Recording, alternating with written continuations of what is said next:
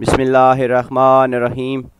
آج ہمارے پاس ایک بہت بڑی خبر ہے، اور خبر یہ ہے کہ آج پاکستان کی ایک بار پھر جیت ہوئی، اور دشمن بار بار آج کی طرح پھر ہار گیا۔ اور وہ اس دشمن کے منہ پہ بہت بڑا تماچا لگا آج، جب آرمی ایکٹ کا بل پاکستان قومی اسمبلی سے، اللہ پاک کے کرم سے پاس ہو گیا۔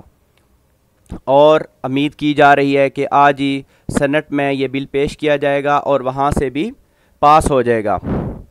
اور ان ملکوں کے ہمارے دشمن ملک جو پاکستان کے دشمن ہیں، جو لوگ ملک ان کو منہ کی کھانی پڑی ایک بار پھر، جو عدلیہ کو ایگزیکٹو آفس کو اور سب اداروں کو آپس میں لڑانا چاہتے تھے، ان کو خدا کی طرف سے منہ کی کھانی پڑی۔